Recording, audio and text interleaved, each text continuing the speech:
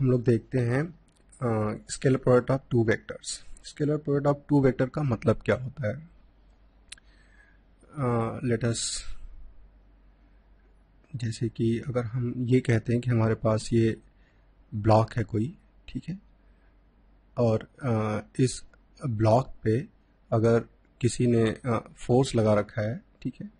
अगर कोई फोर्स लगाता है कुछ सपोज़ किसी एफ़ अमाउंट का और इस ब्लॉक को डिस्प्लेस करता है कुछ वो लेटस इस ब्लॉक को ये आ, ले आता है कुछ यहाँ पे ठीक है? और ये फोर्स कांस्टेंट है। कांस्टेंट फोर्स होने का मतलब ये हुआ कि इस फोर्स का ना तो डायरेक्शन चेंज हो रहा है और ना ही मैग्नीट्यूड चेंज हो रहा है। तो ये ऑलवेज जो है पैरेलल फोर्स एक्ट कर रहा है इसके ऊपर। तो जो ये आपका ब्लॉक का फ्रंट देखा जाए तो ये जो डिस्प्लेसमेंट है इसका सपोज़ ये डी है। और अगर हम इंटरेस्ट रखते हैं कि इस फोर्स ने कितना वर्क किया इस ब्लॉक को डी डिस्प्लेस कराने में तो फोर्स और डिस्प्लेसमेंट तो इनका जो वर्क होगा, ये फोर्स और डिस्प्लेसमेंट का प्रोडक्ट होगा। अच्छा ये गौर करने वाली बात है कि जो फोर्स आपका है फोर्स एक वेक्टर क्वांटिटी है, डिस्प्लेसमेंट भी वेक्टर क्वांटिटी है, लेकिन जो इनका प्रोडक्ट है, जो प्रोड्यूस हुआ है इनके प्रोडक्ट से, वो एक वर्क है विच इज़ ए स्केलर जो स्केलर करेक्टर रखता है। दैट मीन्स जो वर्क है, ये एक स्केलर क्वांटिटी है, ठीक है? ये वर्क आपका स्केलर क्वांटिटी है, जो हम डिफाइन करेंगे product of force that that work is called the scalar product of force and displacement. Now second example देखते हैं हम लोग कि जब हमारे पास uh, अगर हम ये कहते हैं कि कोई सपोज़ uh, कोई अब uh, कोई भी कार है ये किसी वेलोसिटी v से जा रही है ठीक है? और जो इंजन है कार का वो फोर्स F अप्लाई कर रहा है ठीक है? ये वेलोसिटी v मेंटेन करने में। तो ज़ाहिर सी बात है कि वो कुछ ना कुछ पावर डिलीवर कर रहा होगा। वो पावर कहाँ से आ रही होगी? पावर उसकी फ्यूल कंजम्पशन से आ रही होगी। फ्यूल बर्न कर रहा होगा। लेटस ऑल दोज थिंग्स यही सारी चीज़ें उस पावर के लिए रिस्पॉन्सिबल होंगी। लेकिन वो पावर होगी कितनी? वो हर इंस्टेंट पे वेरी भी कर सकती है, नहीं भी कर सकती है। तो किसी भी इंस्टेंट पे अगर हम पावर की बात करें या इंस्टेंटेनियस पावर की बात करें, वो जो होता है फोर्स उस इंस्टेंट पे फोर्स कितना अप्लाई कर रहा है?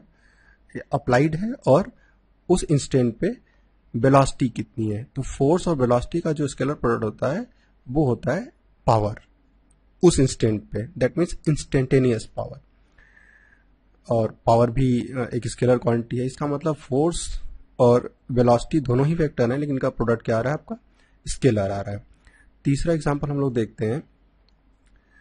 अगर हम लोग आ, कोई इलेक्ट्रिक फ़ील्ड किसी इलेक्ट्रिक फ़ील्ड में अगर हम लोग किसी डाइपोल को प्लेस कर दें। ठीक है, ये मान लीजिए इलेक्ट्रिक फ़ील्ड ई है। और इस इलेक्ट्रिक फ़ील्ड में अगर हम लोग किसी डाइपोल को प्लेस कर देते हैं, ठीक है, ये कोई सपोज़ कोई डाइ, डाइपोल है तो इस डाइपोल के डाइपोल के पास कुछ पोटेंशियल एनर्जी एसोसिएटेड होगी। अगर ये इलेक्ट्रिक फ़ील्ड से कुछ एंगल थीटा बना रहा होगा, ठीक है तो हम लोग कहेंगे कि कुछ पोटेंशियल एनर्जी एसोसिएटेड होगी। वो जो पोटेंशियल एनर्जी होती है, वो dipole moment that is another a vector quantity और इलेक्ट्रिक फ़ील्ड ठीक है? डाइपोल मोमेंट पी एक डाइपोल मोमेंट है और ई e एक इलेक्ट्रिक फ़ील्ड है। इनके स्केलर प्रोडक्ट के बराबर होती है। माइनस टाइम्स हम कह लेंगे। ठीक है? तो that is a potential energy of dipole तो क्लियरली फ़र्स्ट एग्जांपल में फोर्स और डिस्प्लेसमेंट दोनों वेक्टर हैं, लेकिन इनका जो प्रोडक्ट है वो वर्क आ रहा है which is a scalar force और वेलोसिटी जो है यहाँ दोनों ही वेक्टर हैं, लेकिन प्रोडक्ट आपका पावर आ रहा है which is again a scalar और पी पी यहाँ पे डाइपोल मोमेंट है इस डाइपोल का. और इलेक्ट्रिक फ़ील्ड ये दोनों ही वेक्टर होते हुए भी जो पोटेंशियल एनर्जी है वो आपका क्या है? इन जनरल हम कैसे डिफाइन करते हैं स्केलर प्रोडक्ट को? सपोज़ हमारे पास दो वेक्टर्स हैं। सपोज़ ये हमारे पास कोई एक वेक्टर है और कोई दूसरा वेक्टर हमारे पास है। ये रहा, ठीक है? ये कोई हमारे पास दूसरा वेक्टर है। और हम ये कहते हैं कि ये जो वेक्टर है, ठीक है? ये वेक्टर कोई इसका नाम हम बी दे देते हैं। और लेटस जो अनदर वेक्टर हमारे पास है ये वेक्टर ए है। सपोज़ इनके बीच का एंगल कुछ, इनके बीच का एंगल कुछ थीटा होगा। अब वो थीटा एक्यूट भी हो सकता है अपट्यूज भी हो सकता है, ठीक है? लेकिन रिफ्लेक्स नहीं होगा। थीटा जो है, इस थीटा की अपनी डेफिनेशन में एक डेफिनेट बाउंड्री है। ये मिनिमम इसकी वैल्यू ज़ीरो हो सकती है और ये मैक्सिमम क्या हो सकता है?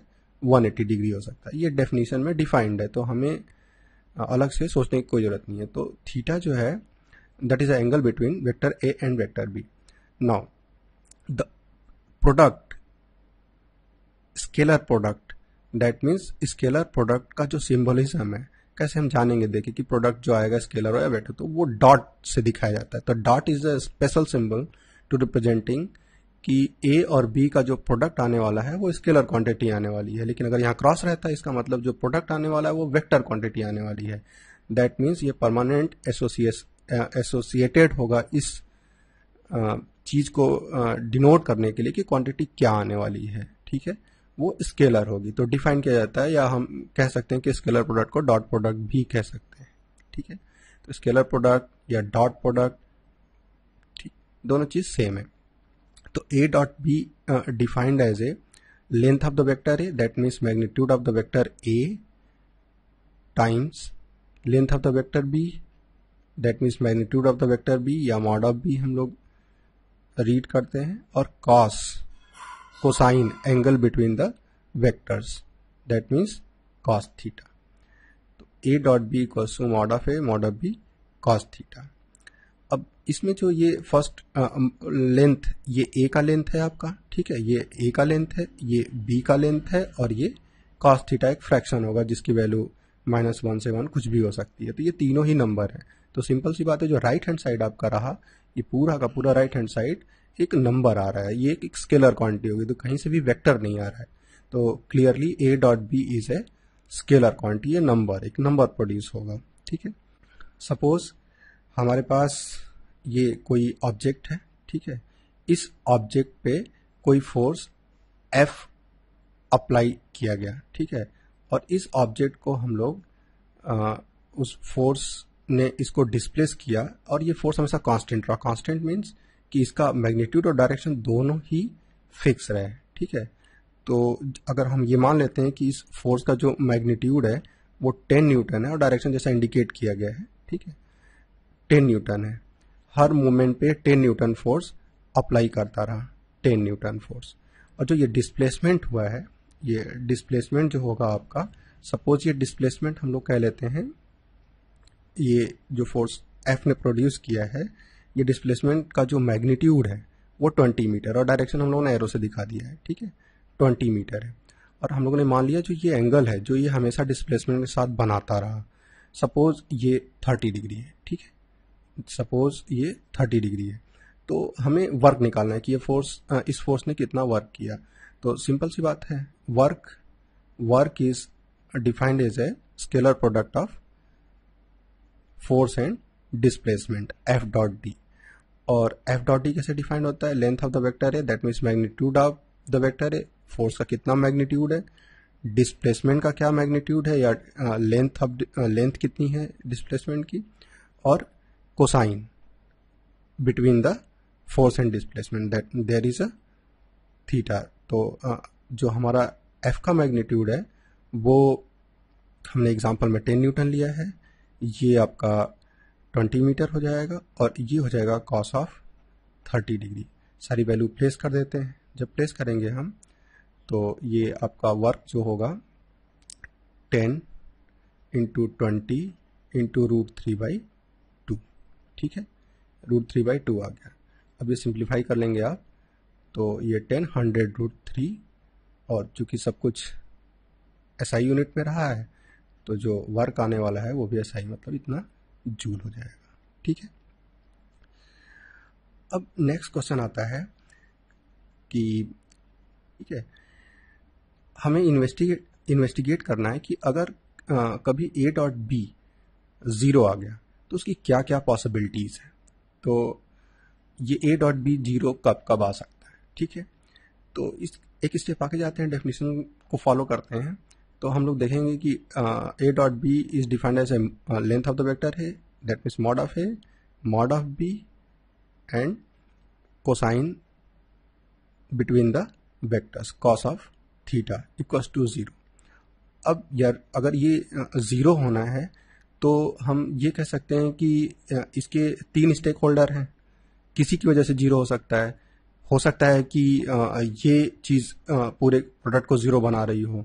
सेकेंड पॉसिबिलिटी बनती है कि ये भी हो सकता है कि ये ज़ीरो बना रहा हो। हो सकता है कि कॉस थीटा ज़ीरो पूरे प्रोडक्ट को ज़ीरो बना रहा हो। तो पूरे पूरी ए डॉट बी को ज़ीरो बनाने के लिए तीन चीज़ें रिस्पॉन्सिबल हो सकती हैं। ठीक है देर इज़ ओनली डाउट अब सिचुएशन क्या है, वहाँ पे हमें को डिटरमाइन करना पड़ेगा। ठीक है? लेकिन हम पॉसिबिलिटी की बात करें तो there is three possibility first a का मैग्नीट्यूड ज़ीरो हो। अब यार किसी वेक्टर का मैग्नीट्यूड ज़ीरो होने का मतलब क्या हुआ? किसी वेक्टर के मैग्नीट्यूड ज़ीरो होने का मतलब हुआ कि वो एक नल वेक्टर है। नल वेक्टर की डेफिनेशन होती है, ठीक है, कि जिसका मैग्नीट्यूड आपका ज़ीरो है। तो a is null vector null vector ठीक है? ए इज़ नल वेक्टर और सेकेंड पॉसिबिलिटी जैसा हम लोगों ने बात करी थी, हो सकता है कि बी का मैग्नीट्यूड ज़ीरो हो।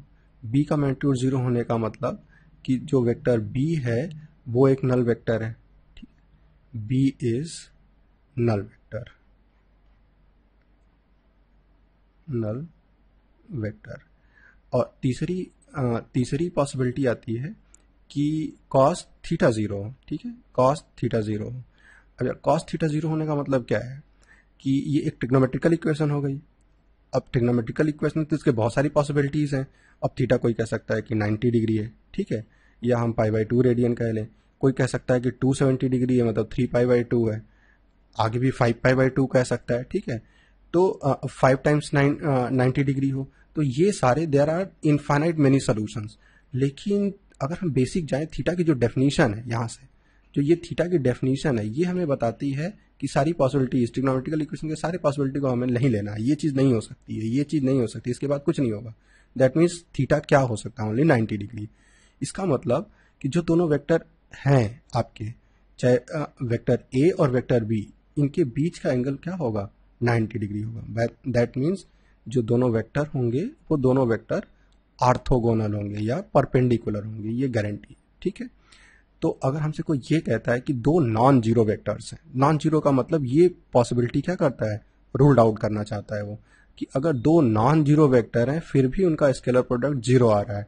तो यार एक ही कंडीशन बनती है क्या? कि वो सर्टेनली आर्थोगोनल तो ये गारंटी करता है। ये आपके लिए प्रूफ करने के लिए एक स्टेटमेंट की तरह, हथियार तरह इस्तेमाल करोगे। जब भी आपको दिखाना होगा कि दो वेक्टर दो नॉन ज़ीरो वेक्टर्स आपस में आर्थोगोनल हैं तो हमेशा दिखाओगे आप, हमेशा वेरीफाई कर दोगे कि उनका जो स्केलर प्रोडक्ट है वो ज़ीरो है।